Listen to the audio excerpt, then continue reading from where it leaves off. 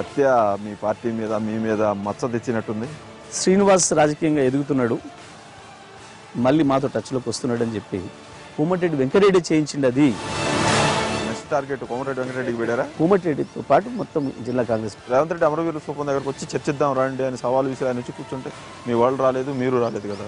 వీళ్ళ ఏడుపు అంతా మేం చేయలేని పని టీఆర్ఎస్ చేసింది. జగదీశ్వర్ రెడ్డి అవినీతి పరుడు అక్రమ సంపాదన లేకపోతే విద్యుత్ కొనుగోలులో పదిహేను వందల కోట్లు తిన్నారు రెండు వేల కోట్లు తిన్నారని దాని మీద చర్చ కోసం మీరు నోటీస్ ఇచ్చి మీరే మాట్లాడే అవకాశం? మీరు ఆరోపణ చేస్తున్నారు మీరు కదా ఆధారం ఇవ్వాల్సింది.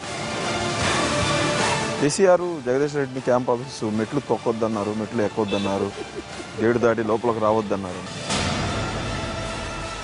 ట్వంటీ ఫోర్ అవర్స్ కరెంటు ఇచ్చిన సందర్భంగా జనవరి ఫస్ట్ తేదీన ట్రాన్స్కో సీఎండి ప్రభాకర్ రావు గారిని ఆలింగనం చేసుకున్న కేసీఆర్ ఈ ఘనత మొత్తం ఆయనదేనంటూ చెప్పారు కానీ జగదీష్ రెడ్డి గురించి కానీ జగదీష్ రెడ్డికి సంబంధించిన ఒక మాట మాట్లాడలేదు. ఇంత చిన్న చిన్న విషయాల్లో పోయి రంధ్రాన్వేషణ చేసి జగదీశ్వర్ రెడ్డి కలెక్టరేట్ చుట్టుపక్కల రియల్ ఎస్టేట్ వ్యాపారం చేస్తా ఉన్నాడు వందల కోట్లకు పడగలెత్తాడని చిల్లర విషయాలంటూ నేను.